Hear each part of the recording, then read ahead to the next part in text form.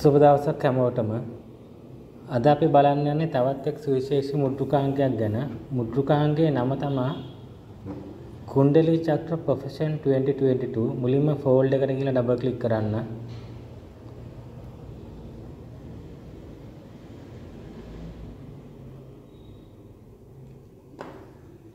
මුලින්ම හැම මුද්‍රිකාංගයම වගේ අපි සෙටින්ග්ස් පොඩ්ඩක් හදාගමු.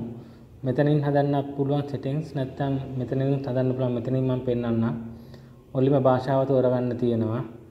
chart style එක තෝරන්න තියෙනවා.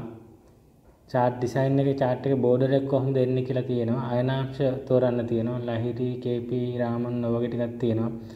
රාහු කේතු ගණනය කරන්න ඕනේ ආකාරය පෙන්වනවා අපි මෙතන මීන් තමයි ක්ලික් කරන්න ඕනේ.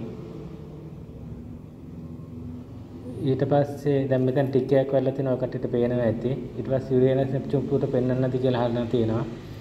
ට්‍රාන්සිට් ප්ලේස් එක තියෙනවා. කොලම්බෝ කියලා අපි එඩිට් කරගන්න ඕනේ මම නම් කලින් එඩිට් කරා.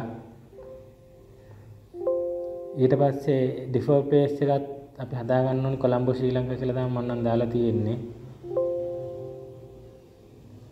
ඊට පස්සේ හදන්න තියෙන්නේ ෆූට් සෙටින්ග්ස් තමයි ඊට පස්සේ හදන්න තියෙන්නේ.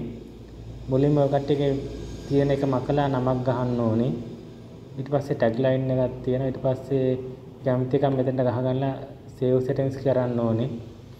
ඊට පස්සේ මුලින්ම මම ඉන්ටර්ෆේස් එක ගැන පෙන්වන්නම් ඇත්තට මේ මුද්‍රිකාංගයේ වේදීය ජ්‍යොතිෂ ක්‍රමය අපි විස්තර බලන්න පුළුවන්. ඊට අමතරව ක්‍රිෂ්ණමූර්ති බලන්න පුළුවන්.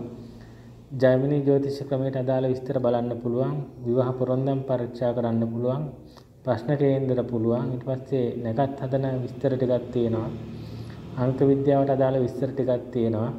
ඊට පස්සේ පලාපල ගන්න පුළුවන් විදිහක් තියෙනවා. ඊට පස්සේ දශාපල ගන්න පුළුවන් ක්‍රමයක් තියෙනවා. ඊට පස්සේ වර්ෂපල වලට විස්තර ගන්න පුළුවන්. ඊට පස්සේ නාමකරණයට ඕන නම් අපිට පහසු කරන්න දේවල් දත්ත ටිකක් ඇතුළත් කරගන්න පුළුවන්.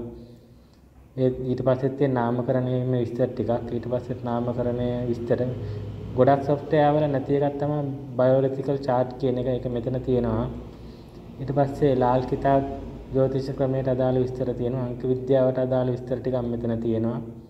ඊට පස්සේ ගෝචරයට අදාළ විස්තර ටිකක්. හිරු උදා හිරු බැසීම විස්තර ටික. ඊට පස්සේ රාහු කාලය පංචාංගය. ඊට පස්සේ තියෙන්නේ සූර්යග්‍රහණ පිළිබඳ විස්තර ටිකක් බලන්න. ඊට පස්සේ ග්‍රහයෝ ඉන්න ස්ථාන පිළිබඳව ඊට පස්සේ මෙතන ඒ ග්‍රහය පිළිබඳව තමයි මෙතන තියෙන්නේ. මෙතන උප්පත්ති වේලාවට අදාළ ගෝචරය බලන්න පුළුවන්. මෙතන ගෝචරයට අදාළ විස්තර මෙතන ගෝචරයට අදාළ විස්තර. ඊළඟ වීඩියෝ එකකින් අපි බලමු. දත්තයක් ඇතුළත් කරලා බලන්නේ කොහොමද කියන එක අපි පොඩ්ඩක් බලමු.